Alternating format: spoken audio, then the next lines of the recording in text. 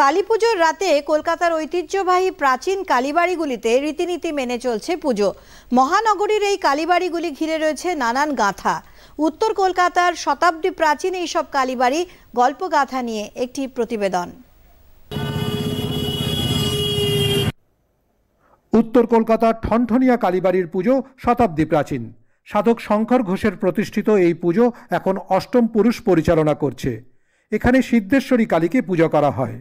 কথিত আছে, ঠাকুর শ্রী রামকৃষ্ণ ঝামাপুকুরে থাকাকালীন এখানে অসুস্থ কেশব সেনের জন্য ডাব চিনি দিয়ে মানত করতেন। সেই থেকে ডাব চিনি দিয়ে পুজো করাটা এখানে এক বিশেষ রীতি। সারা বছর আমিষ ভোগ হলেও ফলহারিণী রাতে মাকে নিরামিষ ভোগ উৎসর্গ করা হয়। মুক্তারামবাবু স্ট্রিটের শ্রী শ্রী আঠেরো হাত কালী মন্দির একশো পঁচিশ বছরেরও বেশি প্রাচীন। তান্ত্রিক আশুতোষ মুখোপাধ্যায় নেপালের গুহায় তন্ত্র সাধনা করতে গিয়ে খুঁজে পান খুবই ছোট্ট আকারের একটি চণ্ডীরূপী কালী।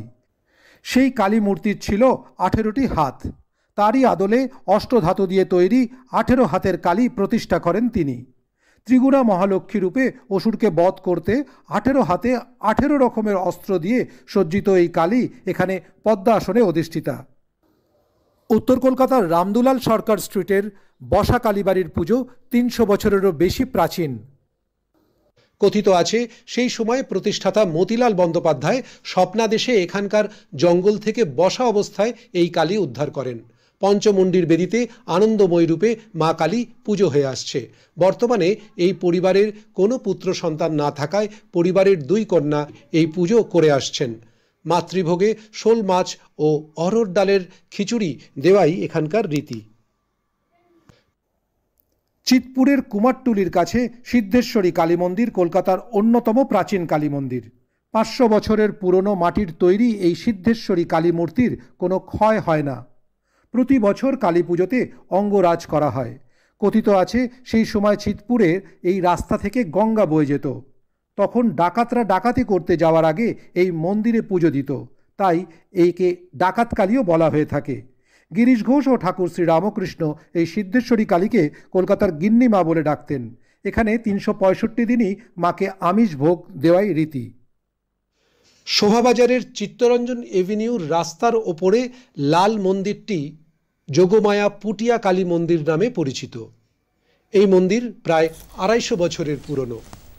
কথিত আছে, যোগী অমরকৃষ্ণ চক্রবর্তী স্বপ্নাদিষ্ট হয়ে শোভাবাজার রাজবাড়ির পুকুর থেকে একটি অষ্টধাতুর দশ ইঞ্চি কালীমূর্তি কুড়িয়ে পান। তাই যোগমায়া রূপে এই কালী পূজিত হয়। শোল মাছ দিয়ে এখানে ভোগ দেওয়াই রীতি। বৌবাজারের ফিরিঙ্গি কালীবাড়ি, পাঁচশো বছরেরও বেশি প্রাচীন।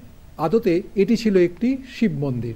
পরে তৎকালীন বিখ্যাত কবিয়াল অ্যান্টনি ফিরিঙ্গি স্বপ্নাদিষ্ট হয়ে শ্রীমন্ত পণ্ডিতের হাত ধরে এখানে সিদ্ধেশ্বরী কালী প্রতিষ্ঠা করেন। সেই থেকেই এই কালীবাড়ি ফিরিঙ্গি কালীবাড়ি নামে পরিচিত। পঞ্চমুণ্ডের বেদিতে সিদ্ধেশ্বরী কালী প্রতিষ্ঠিত। এখানে কালী পুজোর রাতে নিরামিষ ভোগের সঙ্গে খিচুড়ি, রাবড়ি দেওয়াই রীতি। দীপান্বিতা অমাবস্যায় সারা রাত ধরে হয় মায়ের বিশেষ পুজো। ক্যামেরায় অর্ঘ্য মাইতির সঙ্গে সুদীপ বেরার রিপোর্ট দূরদর্শন সংবাদ কলকাতা।